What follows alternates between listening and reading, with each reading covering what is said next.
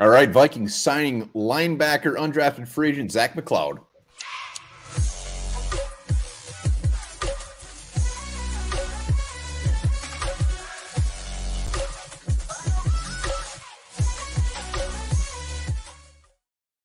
All right, welcome back to One Bar and Lupagus Show. I'm One Bar with Lupagus, and we are cranking through these undrafted free agents just like Andy Dufresne cranked through that football fields of shit getting out of Shawshank.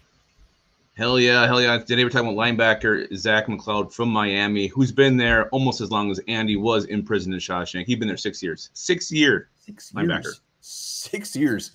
Ton of experience. Love everything about that. 6'2, 251 pounds, edge rusher from Miami. Uh, I mean, everything you read about this guy is he's athletic, special teamer written all over him. I mean, not not a surprise when we're talking about undrafted free agents, but the Vikings must have wanted him it's kind of weird because uh, it sounds like he's actually better against the run. So uh, why you would want an edge rusher who's a better run defender than getting after the quarterback? A little bit confusing to me.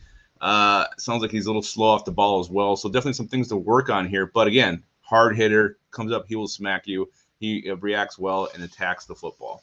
Yeah, the Vikings paid two hundred fifty thousand uh, dollars, which is quite a bit when you're talking about undrafted free agents. So they definitely wanted this guy. They needed this guy which is, I guess, a little surprising. I mean, we've mentioned it in previous videos, but edge rusher, I mean, they have a lot of guys to kind of go through. Yeah, you know, I was actually looking at what you know the Luiji guy we got.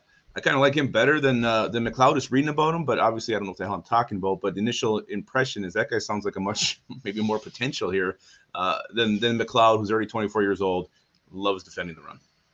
Yeah, everything you read about him against the run, against the run, against the run. I mean, looking at just what he's done at Miami, here you go. Very, very uh, seldom do you see this many lines. Again, six years, 11 yeah. career sacks. And, uh, and yeah, I mean, 6'2, 254 pounds. Yeah, so you know you see linebacker, linebacker, linebacker, DL here. So position role change late in his career. Was he inside before that? That certainly kind of looks like it, going by what they're showing there. Uh, but look how happy he is. He's happy to be a Viking. You can tell he just got the news before they took that picture.